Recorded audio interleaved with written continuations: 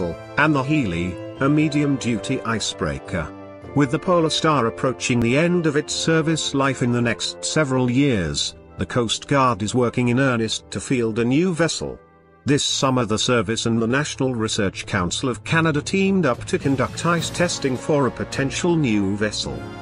The experiments occurred at the NRC's St. John's, Newfoundland, facility, which has a large tank that can simulate sea ice.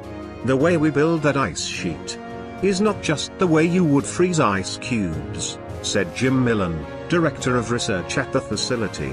We go through special processes to develop that ice so that it actually has the correct properties for us to test it. So it mimics basically sea ice at a model scale. At 300 feet in length, the tank is as long as the Statue of Liberty, he said. It is also 50 feet wide. During the tests, which started in May and continued through August, the NRC conducted experiments with a heavy-duty polar icebreaker model that was 130 the scale of a normal vessel, he said. The model traversed the ice tank and simulated ice thicknesses up to 8 feet.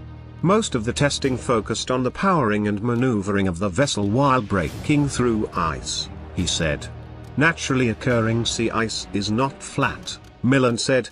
In nature it gets pressurized, and when two sheets of ice come together it's almost like continental drift. You get pieces of ice flowing together with great force and you get these pressurized ridges that form and the ice gets pushed underwater and above the water into almost a great big wall, he said. Icebreakers can sometimes go around these obstacles, but occasionally have to batter through them, he added.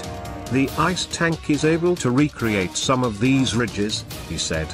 The St.